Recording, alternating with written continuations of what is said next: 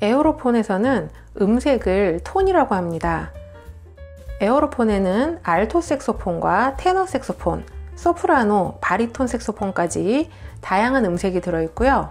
full range 색소폰이라고 해서 연주하는 음역에 따라 바리톤에서 소프라노 색소폰의 음색으로 자동 전환되는 색소폰도 들어 있습니다. 또 색소폰의 음색 말고도 신디사이저에서 사용하는 여러 가지 다양한 음색을 넣어 놓았습니다.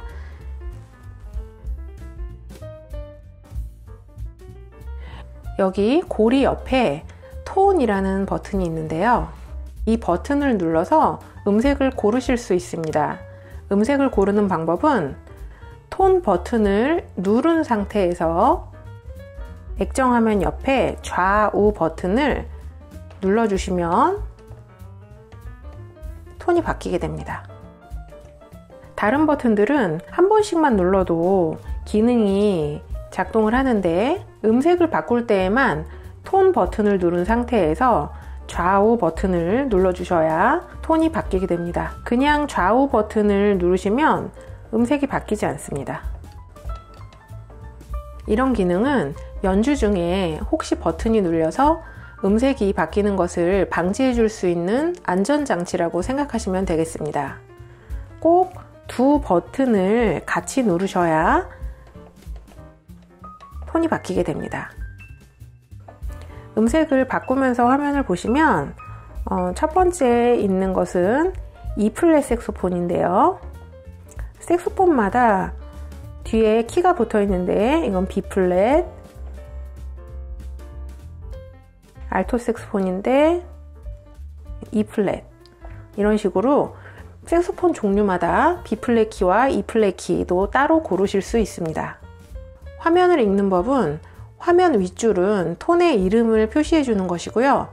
아래쪽은 톤의 번호입니다. 그런데 앞에 P라고 적혀 있는 것은 프리셋의 약자인데요.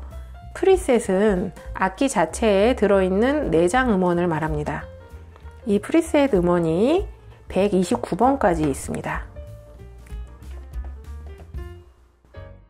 129번 다음에는 P가 아니라 U가 나오면서 다시 1번부터 시작하게 됩니다.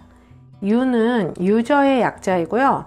사용자가 설정해 놓은 음색들을 유저 부분에 저장할 수 있습니다.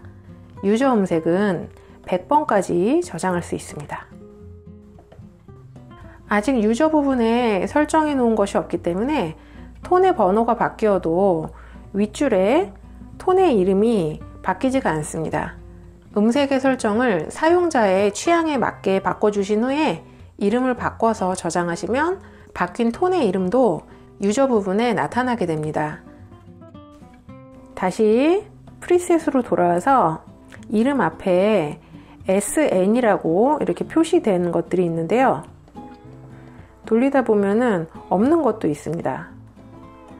SN이라고 이렇게 아이콘이 붙어 있는 것은 Super Natural 톤이라는 것을 알려주는 것입니다. Super Natural은 자연스럽고 풍부한 표현을 가능하게 만든 롤랜드의 독자적인 음색군입니다.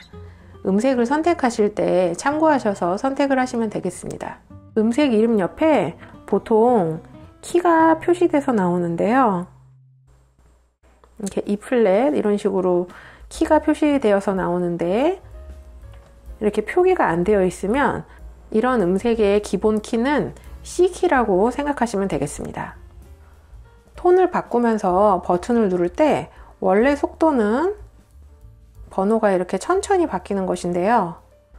빨리 넘기고 싶을 때 이 세 개의 버튼을 동시에 눌러주시면 됩니다. 톤 버튼을 누른 상태에서 오른쪽 버튼을 눌러주고 이 버튼을 누르고 있는 상태에서 또 왼쪽 버튼을 같이 누르면 번호가 빨리 바뀌게 됩니다. 마찬가지로 톤 버튼은 계속 누르고 있는 상태에서 왼쪽 버튼을 먼저 눌러주고 오른쪽 버튼을 또 같이 누르면 왼쪽 방향으로 번호가 빨리 넘어가게 됩니다. 먼저 누른 버튼 방향 쪽으로 빨리 바뀌게 되는 것입니다. 오른쪽으로 빨리 넘기고 싶을 땐 톤 버튼 누르고 오른쪽 버튼 누르고 왼쪽 버튼 한 번 더 누르고 다시 왼쪽 방향으로 빨리 넘기고 싶을 때는 톤 버튼을 누르고 있는 상태에서 왼쪽 버튼 누르고 오른쪽 버튼 한 번 더 눌러주면 왼쪽 방향으로 빨리 바뀌게 됩니다. 톤 번호 빨리 넘기기는 톤 버튼과 좌우 버튼 이렇게 세 개를 함께 누르는 것을 기억하시면 되겠습니다. 연주 중에 톤을 좀 더 쉽게 바꾸실 경우에는 앞에 퍼포먼스 키를 좌우 버튼으로 사용하실 수 있는데요. 퍼포먼스 키 E 플랫이 좌 버튼이 되고요. 퍼포먼스 키에서 C가 우 버튼이 됩니다. 이건 역시 톤 버튼을 누른 상태에서 좌 버튼, 우 버튼으로 사용하시면 되는데요. 제가 지금 우 버튼을 누르고 있거든요. 우 버튼을 누르면 오른쪽 방향 숫자가 올라가고요. 좌 버튼을 누르면 숫자가 내려갑니다.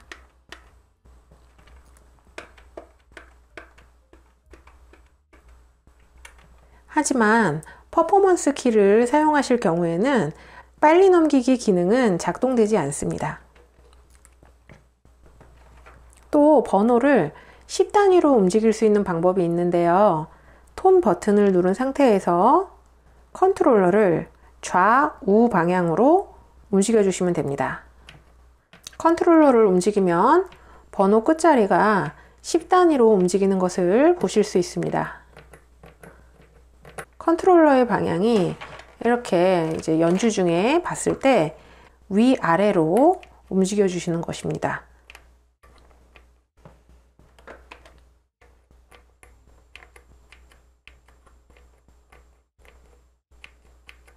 컨트롤러의 방향이 좌우가 아니라 대각선이나 위아래로 움직일 경우에는 작동되지 않기 때문에 좌우 방향으로 잘 움직여 주시기 바랍니다.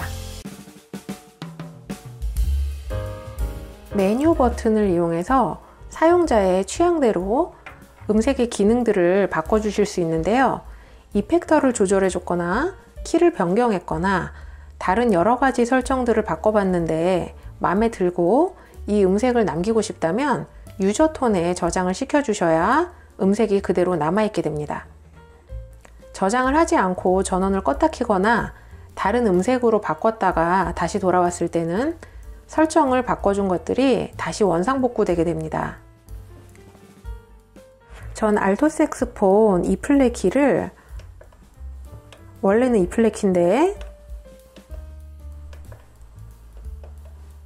하나 올려서 F키로 저장을 해보고 싶습니다. 어, 이렇게 설정을 바꿔놓고 다시 톤 버튼을 누르면 음색 화면으로 돌아오는데요. 지금 제가 여기에 써져 있는 것은 E 플랫이라고 써져 있지만 아까 transpose를 한번 해주었기 때문에 지금 F키로 설정이 되어 있는 것입니다. 이 바꿔준 음색이 그대로 남아있으려면 user 톤 쪽에 저장을 시켜주어야 음색이 사라지지 않는데요. 저장시키는 방법은 길게 메뉴 버튼을 눌러줍니다. 그러면 화면에 write to라고 깜빡거리는데요.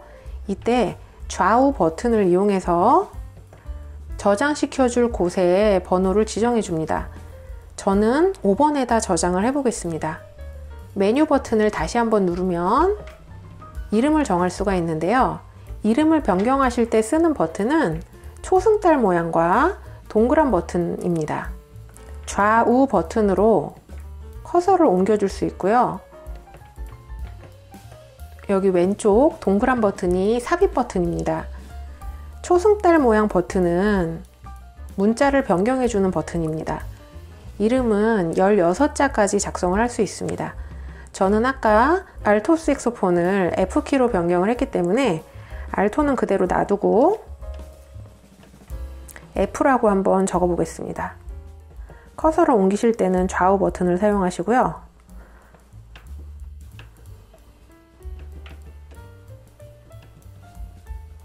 F라고 고쳐서 정해 보겠습니다.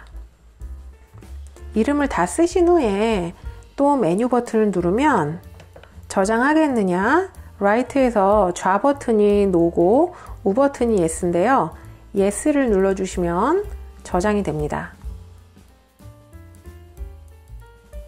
톤 버튼을 누르고 user 5번을 찾아보면 바꿔서 저장시켜준 톤 이름이 알토 F로 되어 있는 걸 보실 수 있습니다. 이 음색은 다른 쪽으로 갔다 와도 그대로 F로 저장이 되어 있습니다. 설정을 바꾸지 않았더라도 마음에 드는 톤을 이름을 바꾸지 않고 유저 쪽에 차례대로 저장시켜서 사용하시면 편리한 기능이 되겠습니다.